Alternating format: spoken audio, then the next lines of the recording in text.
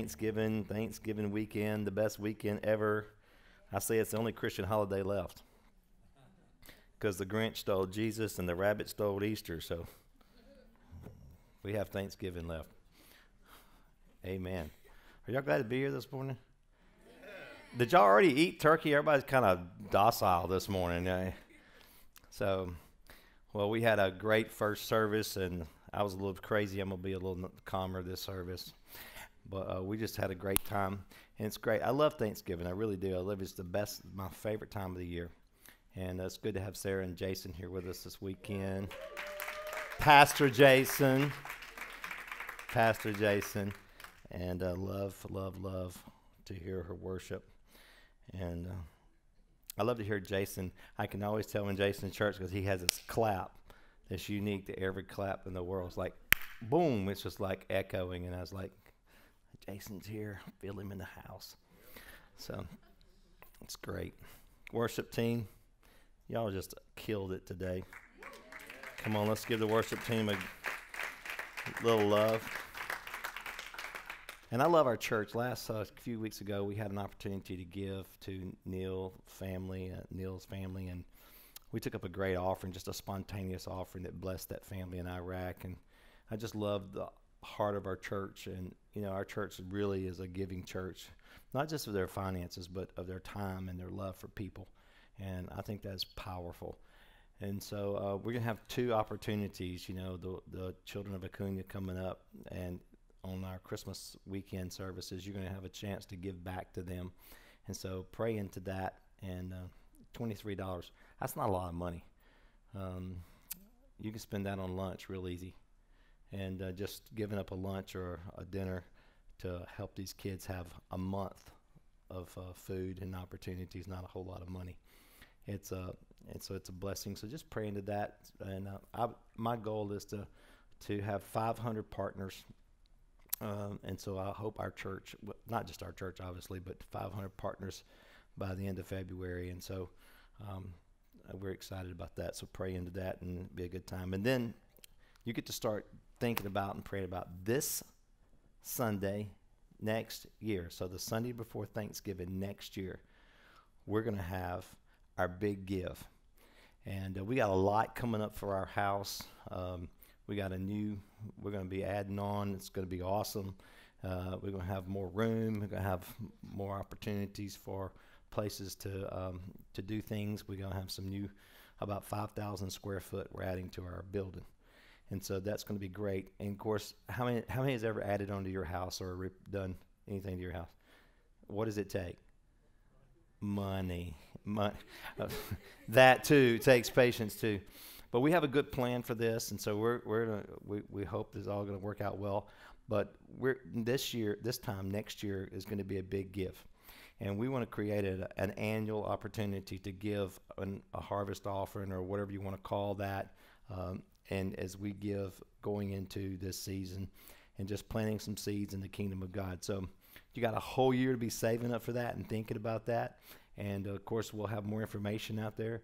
So if you're thinking about, hey God, what can I do for next year, and you're praying into that, you can start putting back a little, a little money every month. And so um, when this season rolls around, you'll be ready to give abundantly.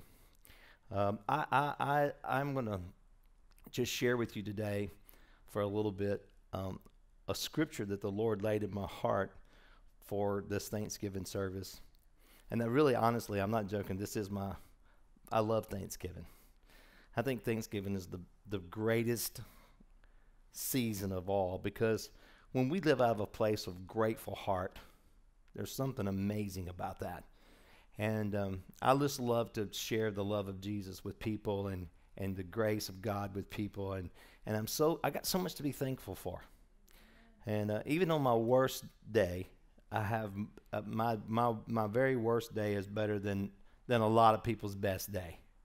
And I, and I'm thankful for that. I'm just thankful for the goodness of God in our life. And so I just love this season. But the Lord dropped this little passage of scripture in my heart, and I thought, well, that's an unusual Thanksgiving text, but it's from Revelations. And don't worry, I'm not going to break off into Revelations preaching, but I want to use this passage in Revelations 12. And it says, And they did overcome him because of the blood of the Lamb and because of the word of their testimony, and they did not love their life unto death. They did overcome because of the blood of the Lamb and because of the word of their testimony. I think it's uh, uh, putting that scripture in context is it's talking about spirit of the dragon come in try to snuff out the church and destroy the church. And uh, the scriptures really laying it out for us there that they did overcome, that the, the enemy is not going to win, and that the church is an overcoming church. It's not a church, we're the head and not the tail. We're, we're blessed beyond, and we're, we're the great. We're, I must say, we're great. What makes us great is because God makes us great and and we're we're part of a team that's that's going to win. I'm on. I've already read the back of the book. We're the winners. How many's read the back of the book know that we're the winners? And so so no matter what comes in our life, no matter what happens in our life, no matter what we go through in life, we are on the winning team, and I think that is awesome. I like to be on the winning team. Do you like being on the winning team? I love being on the winning team. I, I don't like to be with a bunch of losers. Can I get a better amen? Amen. I, I'm I'm not this guy, but I don't don't dislike the guy who you know when they're little kids, especially they're like, well, I'm for so and so team this year. Well, why are you for them? Well, they're winning. Somebody said, well, oh, you jumped ship on your team and you went over to the winning team. I don't know if that's a bad idea or not. Get on the winning team. Not such a bad idea. So we get on the winning team. We join the winning team. We're on the winning team. On heaven's team is the winning team. And I'm believing God for supernatural things in my life. Are y'all believing for supernatural things? Okay, four y'all are. Awesome. Let's try that again. How many are believing for supernatural things in your life? You're believing God for something great in your life. And if we're believing God for something great in our life, it's real important that we don't look at the negatives of life because we'll get caught up in those negatives. But we're overcomers by the blood of the Lamb and by the testimony of the goodness of God. I love this passage in Matthew 5. It's, this is really encouraging word here. It says, How enriched we are when we bear the wounds of being persecuted for doing what is right. How, we're better for that. For when, we, when you experience the, for, for that is when you experience the realm of heaven's kingdom. When we're being persecuted is when we get to step into a heavenly kingdom, a realm of the spirit, the realm of the supernatural. When everybody's patting you, the Bible says, Woe to those who pat you on the back, I'll tell you and tell you how great you are. You better be careful of that. But when we're being persecuted for the name of Jesus, for the kingdom of God, we step into this realm of the supernatural. We get to experience God on a whole nother level. How ecstatic you can be when people insult and persecute you and speak all kinds of cruel lies about you because you your love for me. So leap for joy. So leap for joy, since your heavenly reward is great. For you're being rejected the same way as the prophets were before you. I always tell people this when they're complaining and oh life is bad and I don't like this and somebody said that and somebody hurt my feelings. Like, hey man, you really your life's not that bad. Until you've been stoned to death, boiled in oil, hung on a cross upside down, life is pretty good. You got a lot to be thankful for. Uh, uh, and, and we get we, we just get all upset over the littlest smallest things when when honestly when we're walking in kingdom light and we're walking with Jesus and we're living our life above and not beneath you got to you're, there is going to be some persecution but hey thank God for it. Thank God for that persecution because in the middle of all that persecution I'm moving in heavenly places. I'm walking in a heavenly realm. Your lives are like salt among the people but if you, like salt, become bland, how can your saltiness be restored? Flavorless salt is good for nothing and will be thrown out and trampled on by others. Somebody say, We're the salt of the earth. You know that when you put salt on meat, the meat don't make the meat salty, but the salt makes the meat the salt makes the meat salty. The meat doesn't make the salt meaty. There's what I'm trying to say. You, the, the meat doesn't affect the salt, the salt affects the meat. A few grains of salt can go a long way in making something taste good. As a matter of fact, the salt, you cannot see the salt on the substance, but you can feel the effects of it. The other day, I was cooking some food at my house, and I was, I had some meat on the grill and I was salting the meat, and I was using one of those big old huge salt shakers, and the top flipped open where you pour it out and a spoon and went boom, dumped on the meat. I was like, ah! I was trying to get that salt off there because I knew that much salt was going to make that meat taste way too salty. And a little bit of salt to go a long way. A little bit of salt to go a long way. So we were created to be the salt of the earth, and, and what we bring and what we carry changes the world around us. And we are in we, we affect people's life because God has chosen us to be the salt and to bring his goodness to the world. Bring his goodness to the world. The scripture says, Let your light let your light, uh, let your lights light up the world, and let others see your light from a distance. For how can you hide a city that stands on a hill? And who would light a lamp and then hide it in an obscure place? Instead, place it where everyone in the house can benefit from it. So don't hide your light. Let the light shine brightly before others, so that the, so that the commendable things that you do will shine as lights upon them, and then they will give praise to your Father in heaven. Let your light so shine on earth. You know, so many times we as Christians, especially being politically correct, we want to make sure we don't offend nobody. I mean, we're so we're so sensitive about being offensive when it comes to Christianity, and then we say and do all kinds of other things, which I don't understand. But we're so sensitive about being politically correct with our Christianity. And so on Sunday, when we're with everybody, we're, oh, yeah, this is great. We're just telling all the goodness of God. But then on Monday morning, we'll camouflage our Christianity and walk into, and so make sure that we don't offend no one with our Christianity. And we've almost allowed the enemy to snuff out our witness, to blow out our candle is because we want to be uh, unoffend, un, not offending someone. But here's what the, God's called us to do He's called us to be the light of the world, He's called us to be the salt. And I'm just going to tell you that if you really live like you're supposed to live, you're going to offend somebody. You're going to offend somebody with the gospel. Somebody said, I, I, I don't want to be called a Bible thumper. Well, I, call me what you want to call me. I want to carry what, I, what God's put in my lap to carry. And He's given me this blessing to be a light to the world. This is my calling. This is my purpose. This is what I'm here for. And I was just, I just love my wife because she comes home and, and she, you know, Angela's the steady person. I don't know how many of y'all know her, but she does not hanging from the chandeliers one week and, whoa, ain't God good? Ain't God awesome? And then the next week she's, you know, trying to drag her out of the pit. Her life is very steady, very, and I love when she comes home because she has become the light in her where she works where people she don't go preaching and she don't carry a big bible to work. She don't wear a name tag my husband's the pastor and i'm the pastor's wife and we're christians and we do this. She lives her life as salt in the earth. And people are very attracted when we have this saltiness about us. And so they come to us and they say hey they may not they may not uh, come to you uh, in the good times, but in the bad times, I'll come say, Hey, could you come pray for me? Hey, can you come help me? Because God has put us in these places to be a light to those around us. It's our purpose. And here's what so oftentimes happens is we as the church, we cluster in groups of people for our for, for to get together. Hey, hey, let's get together with a bunch of people. Let's go get a bunch of people that's salty. All the salt come together. God's called us to be salt to the darkness, to the to, to the world. And we need to just go out and just be whatever God has called us to be and do whatever God has called. If we're called to heal, let's go heal the sick. Let's go raise the dead. Let's go open the blinded eyes.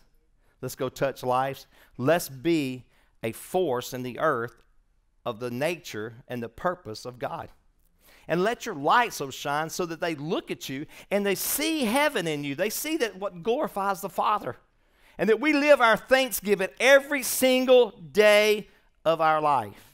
You know, the enemy would love to come and just blow out our candle, intimidate us, put fear in our hearts so that we would not burn for him.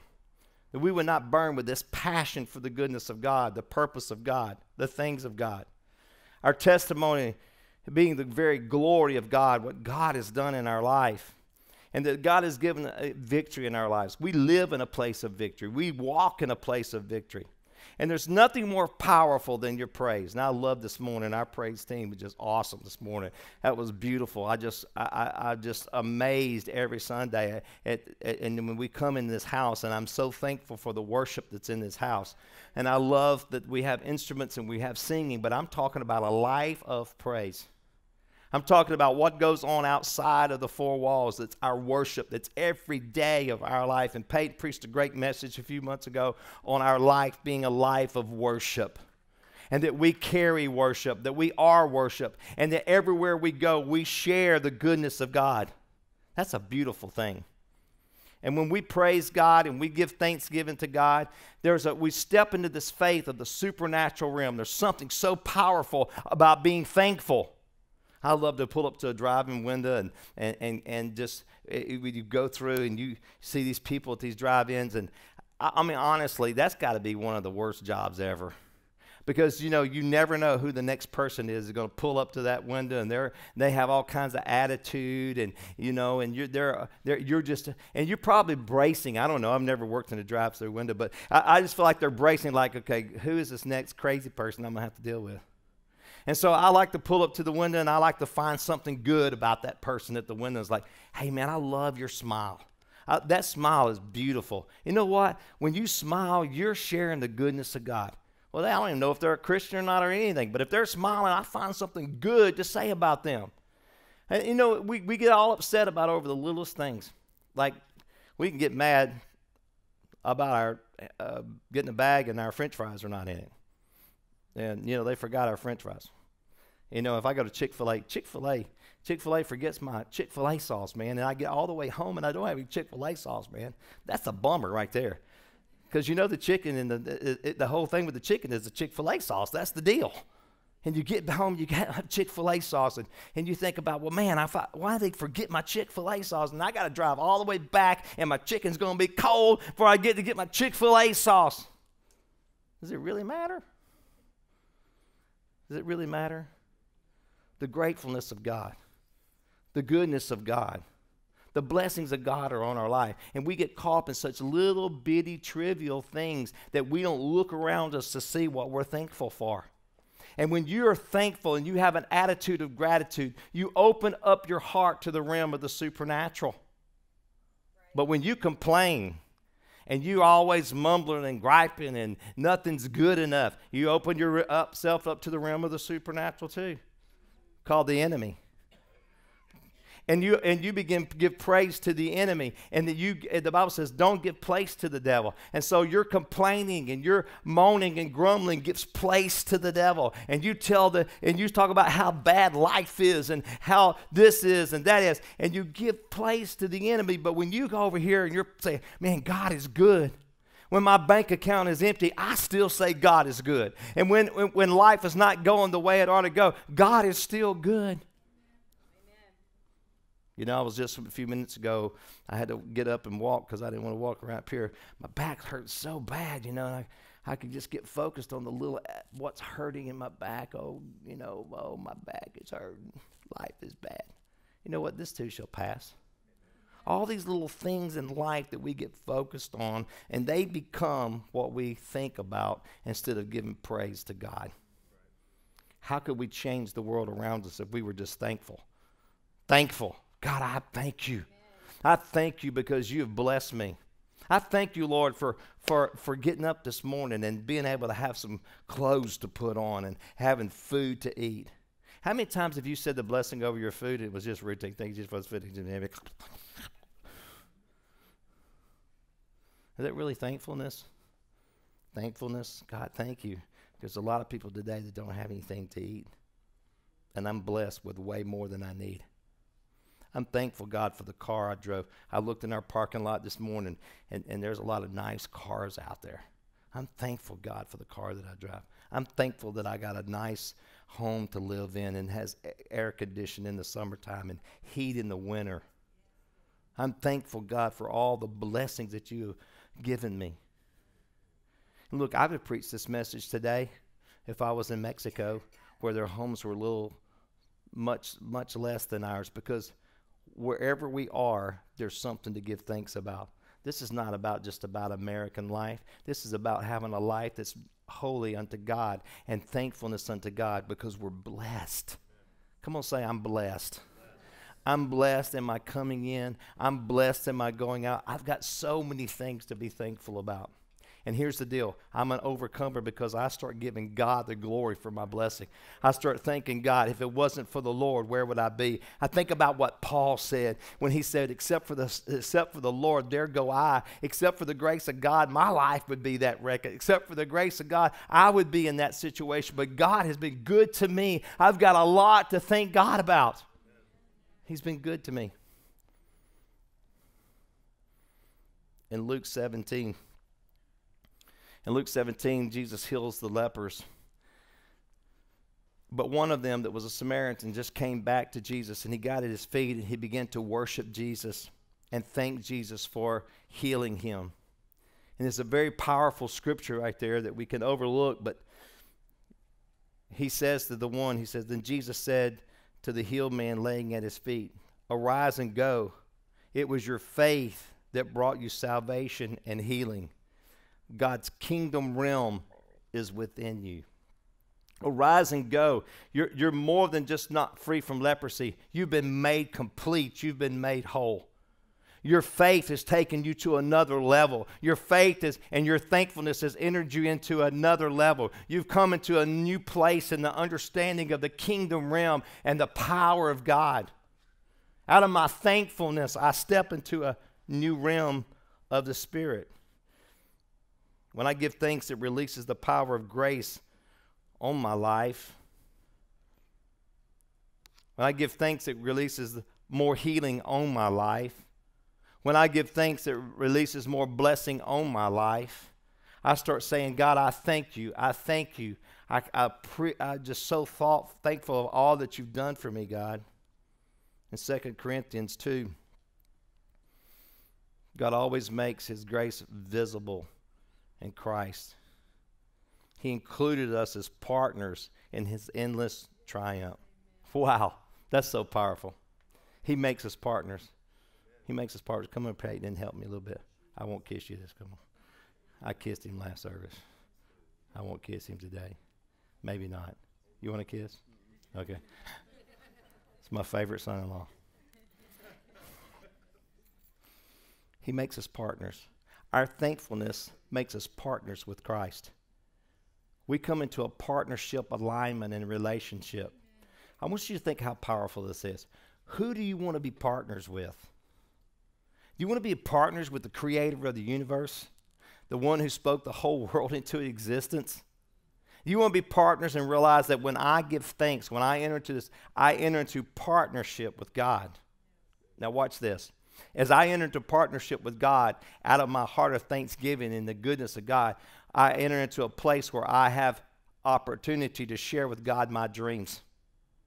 Come on, somebody. Now I am getting to dream with God. I'm getting to dream about the things of God. And I get to believe God for greater things in my life. For greater things in my life. But when I partner with the enemy, when I partner with the enemy, he takes all of my dreams and tries to crush them. When I partner with the enemy and I don't give thanks, he begins to remind me of my past. He begins to remind me of what people say that I am. He begins to remind me uh, of the things that I will never be. But when I partner with God, he starts saying, Hey, what are your dreams? Let's dream together. Let's walk together. Let's see the greatness of God together. I believe in you. There's a partnership that happens through my praise in my life. And he said, We're overcomers. We're overcomers because Christ died on the cross for our sins. We're overcomers because He's given us life and He's given it to us more abundant. We're overcomers. We, we are partnered with, with God. That's amazing. Thank you. We're partnered with Him. Includes Christ, who includes us in His partnership with His endless triumph. There's that word again. His endless victory. Over and over again, there's victory in my life. So I know from the outset that no matter what I face, I win. God, come on, somebody. Hey, praise God for that. That's really good. Okay. That's really good, Pastor. Woo! Awesome. Good word. I'm partnered with God. No weapon formed against me shall prosper. I'm going to kick some devil behind. I'm partnered with God. I'm not losing ground, I'm taking ground. I'm not down, I'm up. No matter what comes against me, guess what? I win. That's pretty awesome. Well, well Pastor, you, are saying you win, but you've been through this storm and that storm. Yeah, but I came out the other side. Don't look at the storm, look at the victory from the storm. I win. I'm a winner. And through the, our yielded lives, He spreads the fragrance of the knowledge of God everywhere we go. We have become the, become the unmistakable aroma of the victory of the anointed one to everyone a perfume of life to those who are being saved, and an odor of death to those who are perishing. To the unbeliever, all of this stinks, but to us who believe, we become the odor. We become the very fragrance of heaven. Oh, that's so good. That's so good. Have you ever have you ever had your favorite cologne perfume and you you you somebody walked by you and you went, mm, I know that. I'm familiar with that smell. That man, that smells good. Or your favorite, you know, Young Living oils. You know, I know some people walk in the room because I can smell them. Because they, they smell good. They got that Young Living oil on, and I've recognized it. And it's, yeah, man, I smell that. That's that lavender. Man, I smell that lavender. I smell that that that citrus. I smell that cedar wood. Mm. I smell that. It smells so good. It's a fragrance, and you you recognize. You know what? The Bible says, "Taste and see that the Lord is good." When we've tasted of the goodness of God, hmm, we can sense the goodness of God.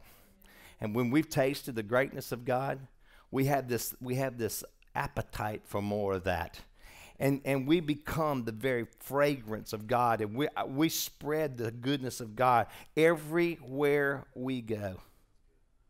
Our lives become the very aroma.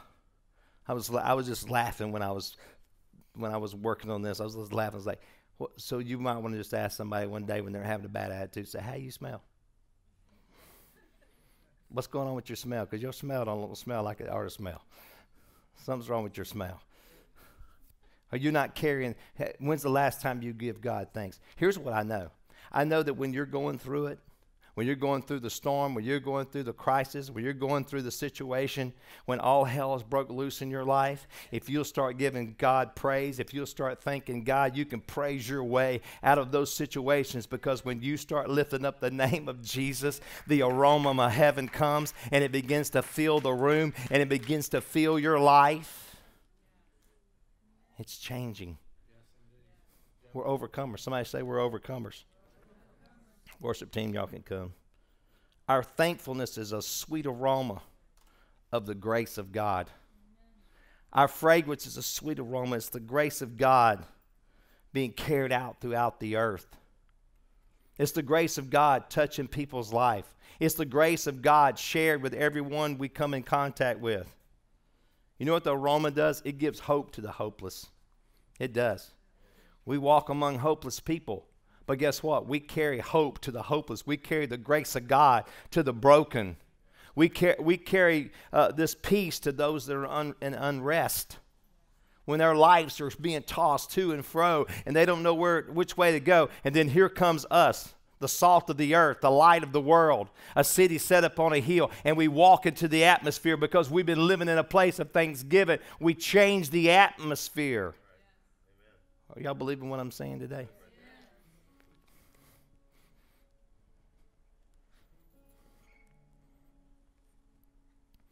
You know, Joseph had a dream. It's a powerful dream. And when he started dreaming this powerful dream of what God was going to do in his life, he made a fatal mistake.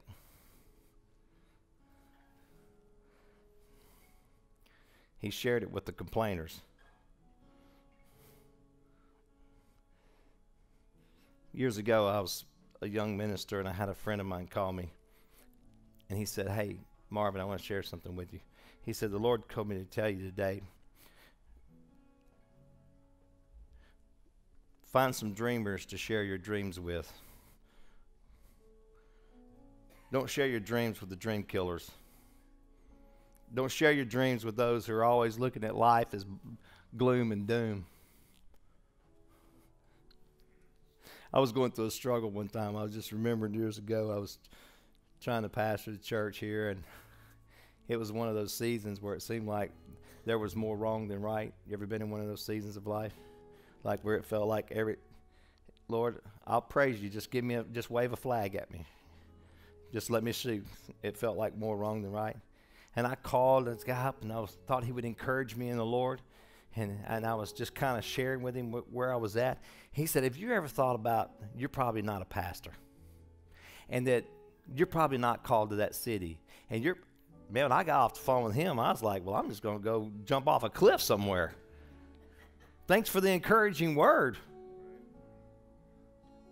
Thanks for the inspiration. I feel better now. I, I feel lifted up. I feel, man, I feel like I could dream again. I'm glad I didn't listen to that word that day. I'm glad I hung up the phone and I got into a place of praise. And I started thanking God. God, I thank you. I thank you. Here's what I found out. When I'm when I'm in a place like this, I just get around a bunch of worshipers, a bunch of thankful people. people that are grateful, people that are, are saying, Look what the Lord has done.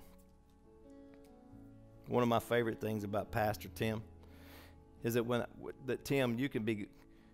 I, I've known there's times I've known that Tim's going through the fire, and I call him up and say, "Hey, buddy, how you doing?" Because I'm called to give him encouragement word. He said, "Everything's great." Really? That's awesome. Then he's encouraged in the Lord. He might be walking through it, but he's always looking for the goodness of God. I ain't going to call any names, but there's some people I wouldn't call if I was going through the fire because they're going to drag me right on further down because they're always complaining. They're always thinking of the worst. I'm just telling you today, you've got so much to be grateful for. And quit looking for those things and start looking for the goodness of God. I want you to close your eyes right now. And I want you to start thinking of how many great things in your life I want you to start recording in your mind right now the goodness of God in your life, the blessings of God in your life, the power of God in your life. When the enemies came in like a flood to rise up against you, the Spirit of the Lord would raise up and He would come and take charge over that situation. How many times has God shown up in your life and for had a, you had a breakthrough moment? And not one single time in your life has God ever abandoned you. He's never abandoned you. He's never walked out on you. He's never he's never said, "Hey, I don't love you no more." He's always been faithful. He's always been good in your life. And it's in those moments that we begin to praise God that we begin to really see the goodness of God. Joy for our journey, healing for our nation. We are the salt of the earth.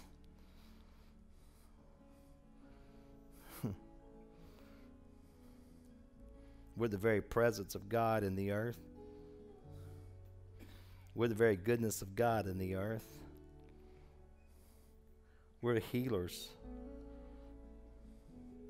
We come to bring healing, the very aroma of God. We've come to bring salvation. Don't let the devils blow your light out.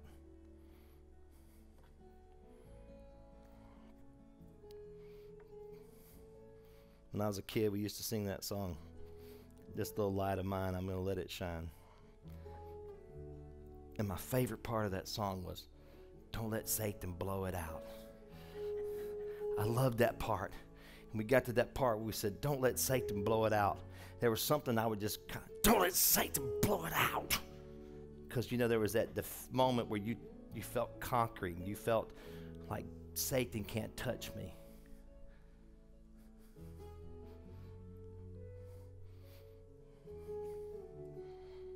Don't let the world snuff out your revival. Don't let a bad day determine your destiny. Don't let a situation in your life blow out your fire for God. Just remember, He's coming through for you. Give Him thanks. God, you're good. Your mercy is everlasting. Your truth endures forever.